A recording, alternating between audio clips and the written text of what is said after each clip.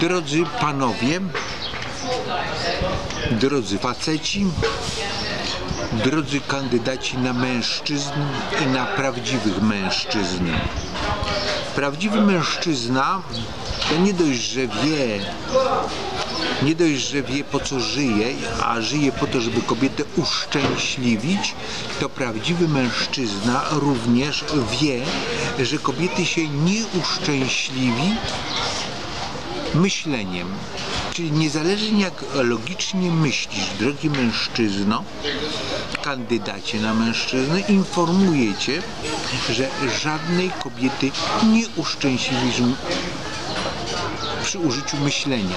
To znaczy, mężczyzna, żeby żyć, żeby osiągać sukcesy, żeby być kimś wyjątkowym, potrzebuje myśleć.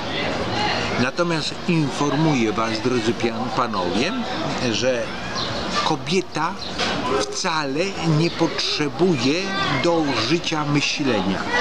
Wybijcie sobie z głowy, jeżeli uważacie, że kobieta potrzebuje myśleć, żeby żyć. Jeżeli kobieta myśli, to jest to bardzo zły objaw, jeżeli myśli, ponieważ to znaczy, że nie ma tego, co najważniejsze. To znaczy, że kobieta do życia potrzebuje czuć. Kobieta, żeby żyć, potrzebuje czuć. I to potrzebuje czuć nie tylko pełną piersią, ale potrzebuje czuć y, również y, motylkami w brzuchu. I jeżeli nie jesteś w stanie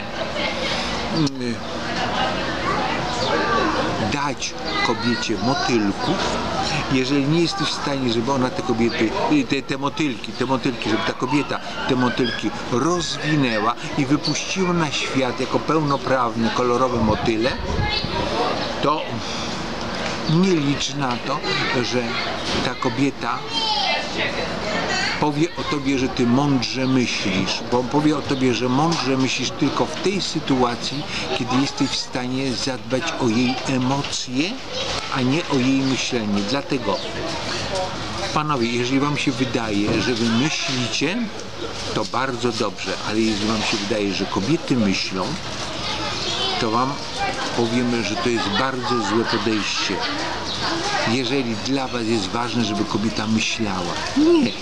Ważne jest, żeby kobieta czuła, a wtedy wam powie, że wy świetnie myślicie.